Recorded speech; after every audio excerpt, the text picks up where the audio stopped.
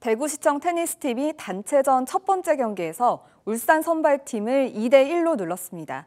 전국체전 단체전 정상 탈환을 위한 힘찬 출발을 알렸습니다. 천혜렬 기자가 취재했습니다. 게임 스코어 1대1 승부의 추는 마지막 복식 경기에 달려 있습니다. 대구는 에이스 김청희 선수의 부상으로 나정웅 선수가 대신 출전합니다. 오성국 선수와 짝을 이뤄 세트 스코어 2대 0의 승리를 이끌어냈습니다.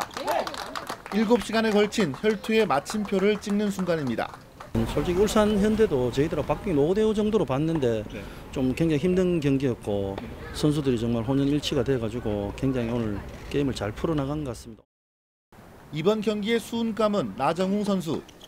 단식 두 번째 경기에서 주장 김청희 선수의 패배를 서력했습니다. 1대1의 균형을 맞춘 후에도 체력적인 부담에도 불구하고 복식 경기까지 거머쥐는 투혼을 보였습니다. 목표는 당연히 우승이죠. 목표는 당연히 우승인데 저희가 최선을 다해서 진짜 이- 이기려는 그, 그 마음과 그 열정을 한번 보여, 보여주, 이제 보여주는 게 저희 목표입니다.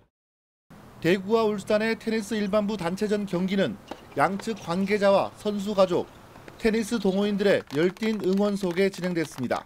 대회 정상 탈환을 다짐하고 있는 대구는 오늘 하루 휴식을 취한 뒤 내일 경남 대표인 창원시청과 준결승을 놓고 숨막히는 승부를 이어갈 예정입니다. 티브로드 뉴스 천혜렬입니다.